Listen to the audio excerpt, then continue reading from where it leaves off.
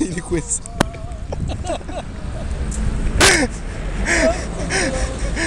Mais toi aussi tu connais le problème, Parce qu'on est dans la merde.